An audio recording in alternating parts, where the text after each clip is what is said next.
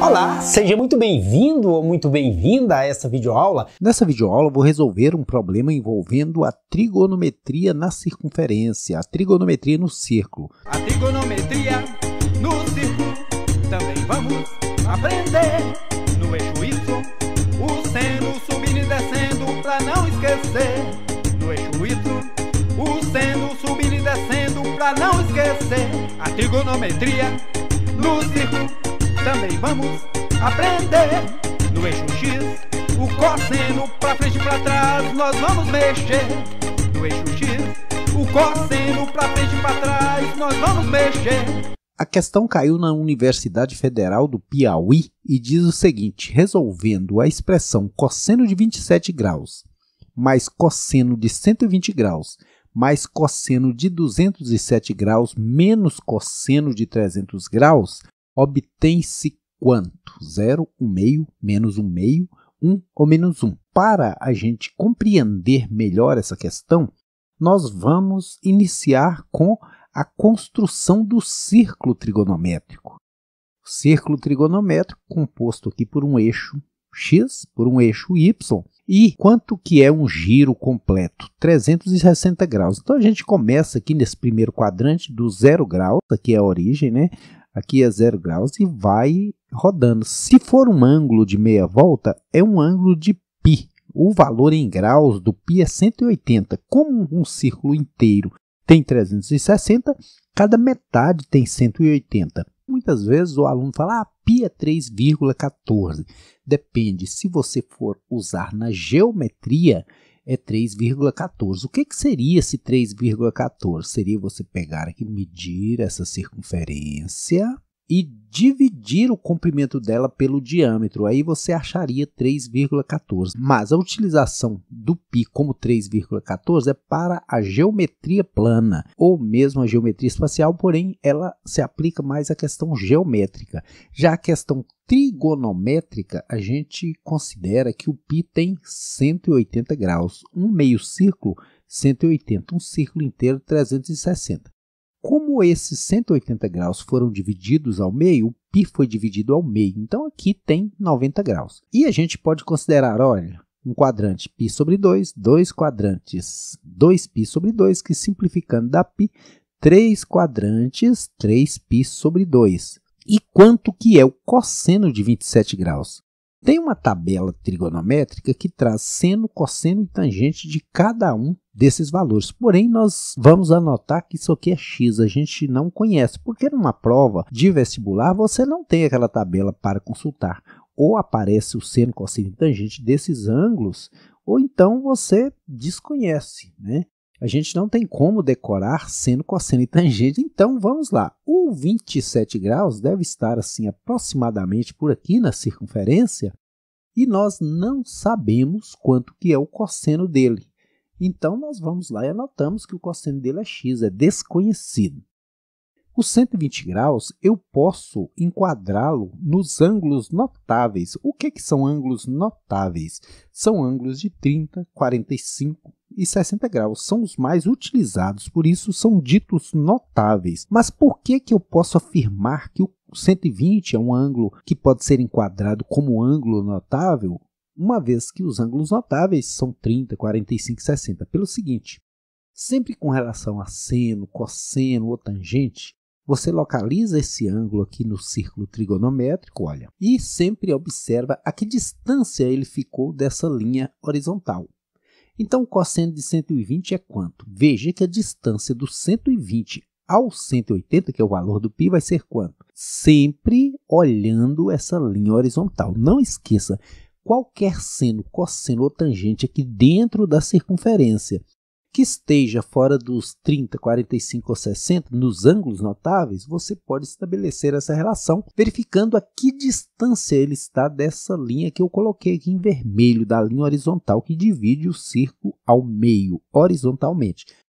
De 120 a 180 tem 60 graus. Então, esse ângulo aqui, ele equivale ao cosseno do ângulo de 60 graus.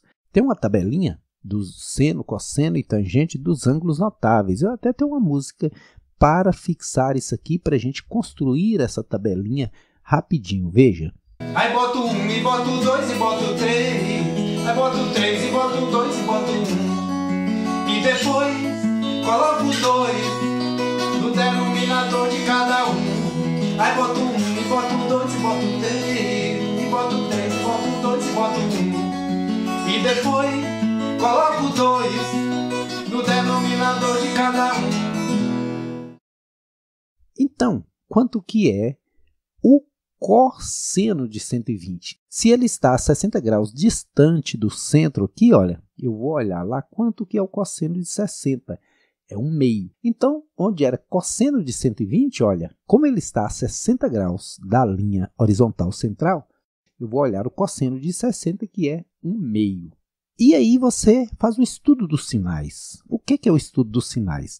Até teve uma colocação em sala de aula na minha turma de segundo ano A, Achei muito interessante. Muitos alunos não sabem o que é seno e o que é cosseno.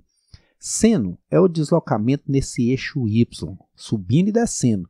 Então a gente pode até fazer uma rimazinha. Seno é descendo e cosseno é correndo. Ninguém corre para cima. Se você correr é na horizontal. Então o correndo, o cosseno é na horizontal e o seno descendo é na vertical, no eixo y. Mas aqui a gente só fala de cosseno. Então, esse ponto que representa 120 graus, que equivale a 60 graus de distância do eixo horizontal central aqui, o cosseno é um meio. Porém, no estudo dos sinais, cosseno, quando está à direita, é positivo e quando está à esquerda é negativo. Como o nosso ângulo de 120 graus está do lado esquerdo, tem um sinalzinho de menos, olha. Então ele vai ser negativo, um menos aqui antes do meio. E agora vamos analisar o cosseno de 207 graus. Vamos colocar aqui 180, né? O π 180. O 207 graus, ele está um pouco à frente do 180. De 180 para chegar a 207 está a 27 graus da linha central. Então, observe que eu chamei de x o cosseno de 27, está aqui. O cosseno de 207, que está a 27 graus do 180, é o mesmo do 27. Porém, quando você faz o estudo dos sinais, ele está do lado esquerdo. Cosseno do lado esquerdo é cosseno negativo. Então, põe um menos aqui no x. Também não sei quanto que é, mas eu sei que vai ser o oposto desse. Se esse era x, ele tem a mesma distância do eixo horizontal central, então vai ser o mesmo x, porém oposto, com sinal de menos. E o cosseno de 300 graus? 300 graus, olha, 90, 180, 270, suponhamos que ande mais 30 para frente e vai para 300 graus. Aí você olha a que distância ele está do eixo horizontal central. Está a 60 graus. Por quê? De 300 a 360, porque aqui é zero. Se eu der uma volta, eu coloco aqui em cima mais 360. Então você vai na tabela de seno, cossenos e tangentes de ângulos notáveis e verifica que o cosseno de 60 graus, como a gente já viu, é um meio. Então você vai e coloca lá cosseno de 300 graus igual a um meio. E verifica o estudo dos sinais. Do lado direito, positivo, do lado esquerdo, negativo.